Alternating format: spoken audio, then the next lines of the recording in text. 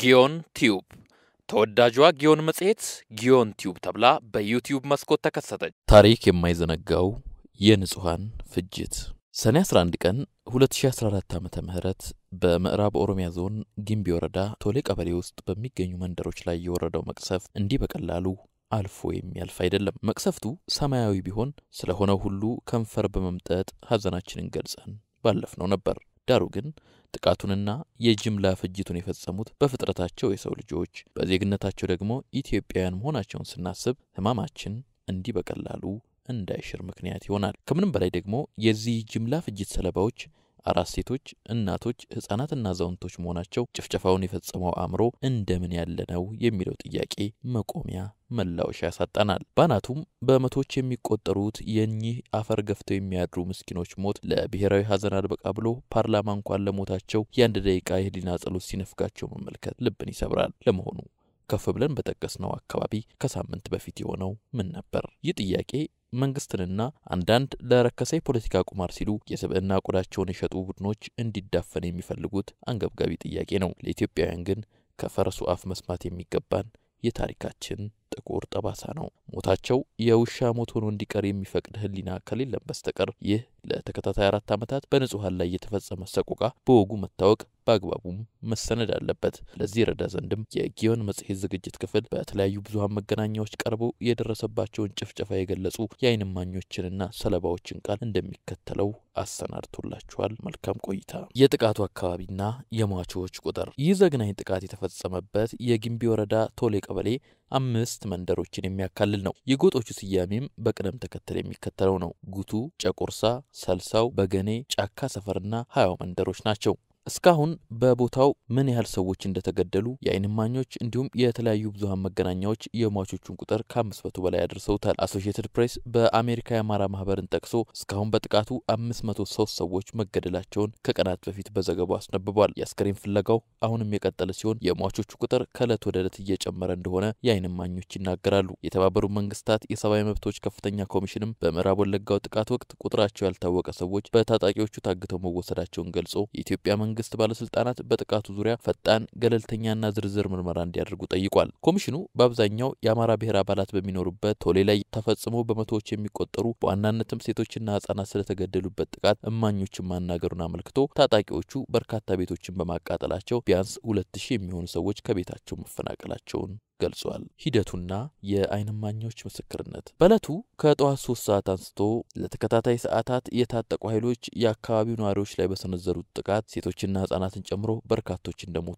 የዓይን እማኞች ገልጸዋል። የአካባቢው ነዋሪዎች ቤቶች እንደተቃጠሉባቸውና የቀንድ ከብቶቻቸውን ጨምሮ ሌሎችም ሀብትና ንብረታቸው እንደተዘረፉባቸውም አስታውቀዋል። ለደህንነቱ ሲባል ስሙ የተቀየረው ከማል የተባለ የዓይን እማኝ ወንድሙንና የወንድሙን ባለቤት በጥቃቱ ሳቢያ እንዳጣ ይናገራል። ጥቃቱ የጀመረው ሶስት ሰዓት ከሀያ አካባቢ ነበር። እስከ ሰባት ሰዓት ታጣቂዎቹ አልወጡም። ልዩ ኃይልና መከላከያ የገባልን አስራ አንድ ሰዓት ላይ ነው። እስከዚያ ድረስ ማንም ሊረዳን አልመጣም። የሚመለከተው አካልም አልረዳንም ይላል ከማል። በቶሌ ቀበሌ ሰልሳው በተባለው መንደር ውስጥ ተወልዶ ያደገው አርሶ አደል ከማል እሱ በሚኖርበት አካባቢ እስካሁን 250 ሰው ቀብረናል ብሎ ነበር። ትላንት እሁድ ብዙ ሰው ስንቀብረዋልን፣ አሁን ደግሞ ሌሎችም ሊቀብሩ ሄደዋል ያለው ከማል ገና አስከሬናቸው የሚነሳ ነዋሪዎች እንዳሉም ይናገራል። ጥቃቱን የፈጸሙት ታጣቂዎች ኦነግ ሸኔ እንደሆኑና ብሔር ለይተው አማሮችን እንደጨፈጨፉም አክሏል። አይሻ ሰይድ የመሪው ጭፍጨፋ ሰማዕት ሕይወታቸውን በግፍ ካጡት ሴቶች መካከል አንዷ አይሻ ሰይድ ትባላለች። የተወለደችው በደቡብ ወሎ ዞን አርጎባ ወረዳ ውስጥ ነው። እዚያ ትወለድ እንጂ እድገቷ ግን በምዕራብ ወለጋ ጊምቢ ወረዳ ቶሌ ቀበሌ ውስጥ ነው። ወደዚያ ያቀናችው በ1990 ዓ ም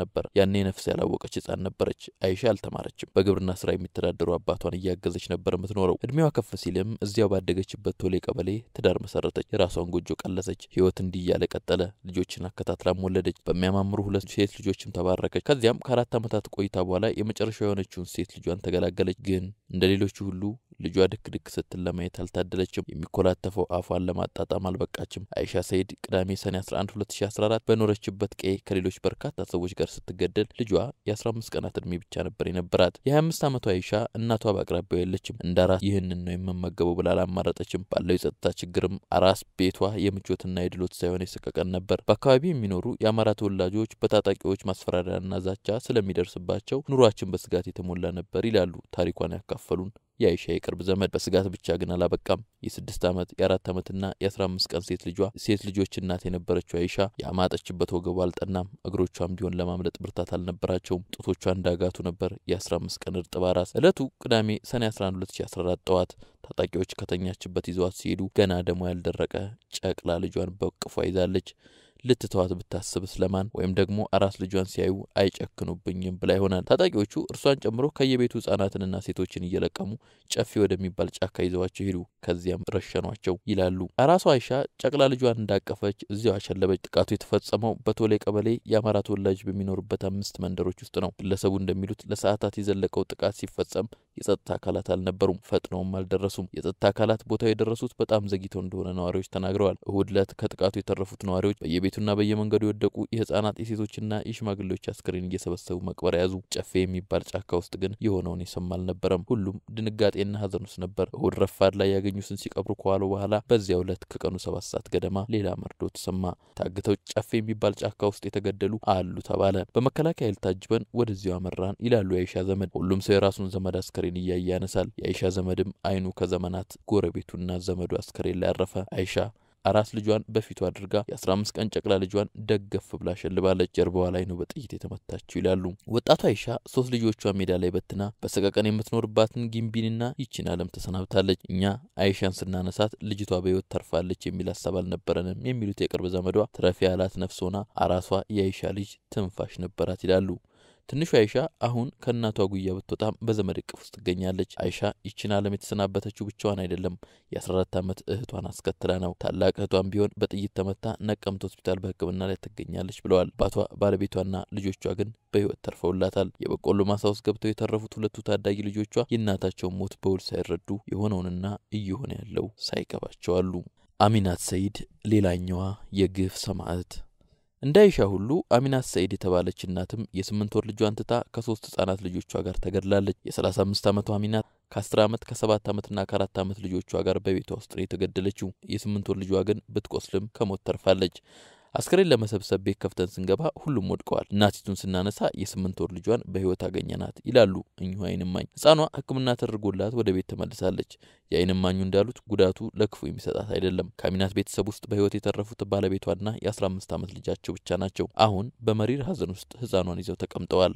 ሀሊማ ሳዲቅ ሌላኛዋ የጥቃቱ ሰለባ። ሌላኛዋ እናት ሀሊማ ሳዲቅም በወለደች በስምንተኛ ቀኗን የተገደለችው። ሀሊማም እንደ አይሻ ደሞ ያልደረቀ አራስ ነበረች። የጥይት ሩምታው የስምንት ቀኗን ህፃንም አልማረም፣ አንድ እጇን አሳጥቷታል። ይህ የእነዚህ እናቶች ብቻ ታሪክ አይደለም። ይህ ዘገባ በቶሌ ቀበሌ ሰልሳው በሚባለው መንደር የሆነውን ብቻ ለማሳየት የሞከረ ሽራፊ ታሪክ ነው። የአይን እማኙ እንደሚሉት እርሳቸው በሚኖሩበት ጊምቢ ወረዳ ቶሌ ቀበሌ ስልሳው የሚባለው መንደር ውስጥ አንድ መቶ ሀያ ሰዎች ተገድለዋል። ከእነኝህ መካከል ዘጠና ሰባቱ ሴቶችና ህጻናት ናቸው። ከዘጠና ሰባቱ ውስጥ ስልሳ ሁለቱ ከአስር ዓመት በታች ያሉ ህጻናት ናቸው። የአካባቢው ነዋሪዎች እንደሚሉት በጥቃቱ ወላጆቻቸው ተገድለውባቸው ብቻቸውን የቀሩ በርካታ ህጻናት እንዳሉ ይናገራሉ። አሁን ላይ በአካባቢው የመከላከያ የፌዴራል ፖሊስና የኦሮሚያ ክልል ልዩ ኃይል ተሰማርተዋል። አካባቢው የተረጋጋ ይመስላል። ቢያንስ የሞቱትን እንደ ወጉም እንደ ሃይማኖቱም ባይሆን አፈር ማቅመስ ችለዋል።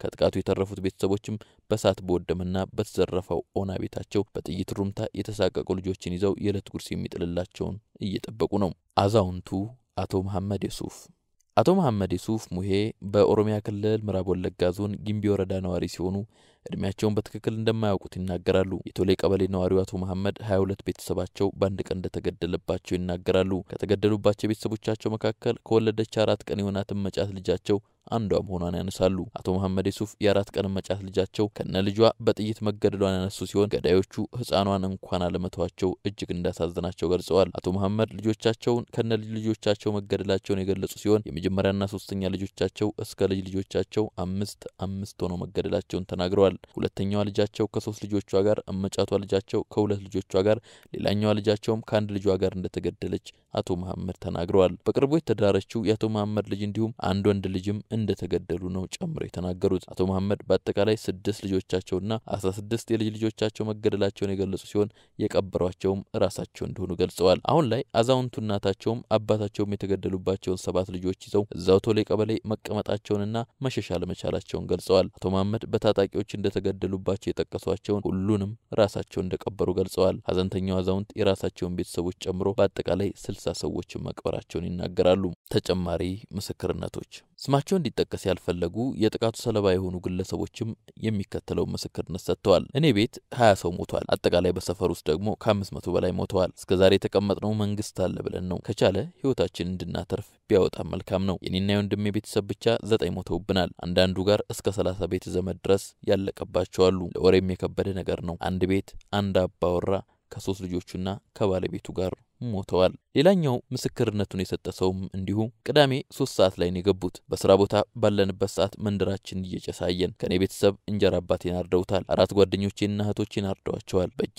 የሰባት ቤተሰቦቼን አስክሬን አንስቻለሁ። በሌላ ቦታ ደግሞ የእህቴ ቤተሰቦች አስራ ሁለት ሰዎች በአንድ ላይ ተቃጥለዋል። እናቴንም ሶስት ቦታ በስለት ነገር በመምታት አሁን የምትገኘው ሆስፒታል ነው። አንድ ቦታ ላይ ከሀምሳ ሰው በላይ ቀብረናል። አብዛኞቹ የተጎዱት ህጻናት ናቸው። ከሶስት ዓመት በላይ የሆኑ ህጻናትና ሴቶች ናቸው ይበልጥ የተጨፈጨፉት ብለዋል።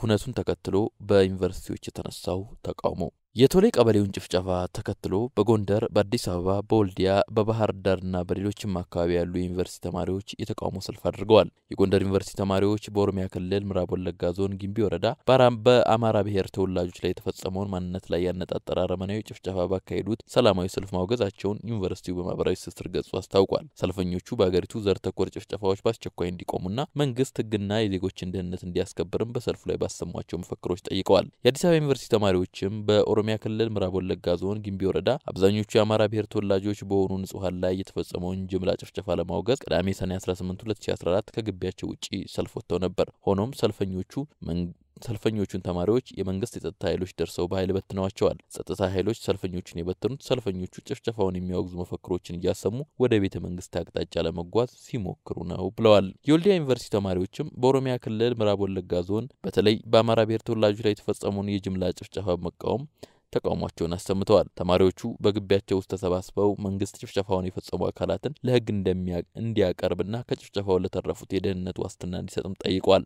በተመሳሳይም እንዲሁ የባህር ዳር ዩኒቨርሲቲ የሕክምና ተማሪዎች በወለጋ ለተጨፈጨፉ አማራዎች የህሊና ጸሎት በማድረግ ምግብ ሳይበሉ ወጥተዋል። ከቀናት በፊትም እንዲሁ የወለጋውን ዘር ተኮር ጭፍጨፋ ለማውገዝ የባህር ዳር ዩኒቨርሲቲ ጥበበ ጊዮን ሰራተኞች ሰልፍ ወጥተው የነበረ ሲሆን በተተኮሰ ጥይት በሰው ላይ ጉዳት መድረሱም ተሰምቷል። የህዝብ ተወካዮች ምክር ቤት የህዝብ ተወካዮች ምክር ቤት በኦሮሚያና ጋምቤላ ክልሎች የኦነግ ሸኔ ታጣቂዎች የፈጸሟቸውን የንጹሐን ግድያዎች የጤና የማህበራዊ ባህልና ስፖርት ቋሚ ኮሚቴ አጣርቶ እንዲያቀርብ ከሳምንት በፊት ማዘዙን አስታውቋል። ቋሚ ኮሚቴው በጥቃቱ የደረሱት የጉዳት መጠኖችንና ከጥቃቱ የተረፉ ሰዎች የሚያስፈልጓቸውን ድጋፎች እንዲያጠና ነው በምክር ቤቱ የታዘዘው። የኢትዮጵያ ሰብአዊ መብቶች ኮሚሽንም በጥቃቱ የተፈጸሙ የሰብአዊ መብት ጥሰቶችን አጥንቶ ለምክር ቤቱ እንዲያቀርብ አፈ ጉባኤ ታገሰ ጫፎ በደብዳቤ አስታውቀው ነበር። ይህን ተከትሎ ከቀናት በኋላ ምክር ቤቱ በምዕራብ ወለጋና በሌሎችም አካባቢዎች በአሸባሪው ሸኔና ሌሎች መሰል ተላላኪ ጽንፈኛ ኃይሎች አማካኝነት በንጹሐን ዜጎች ላይ የደረሰውን ጭፍጨፋ በጽኑ ማውገዙን ገልጿል። ከሞት የተረፉትም ተፈናቅለው ለአካልና ስነ ልቦናዊ ጉዳት ተዳርገዋል፣ ሀብት ንብረትም ወድመዋል ያለው ምክር ቤቱ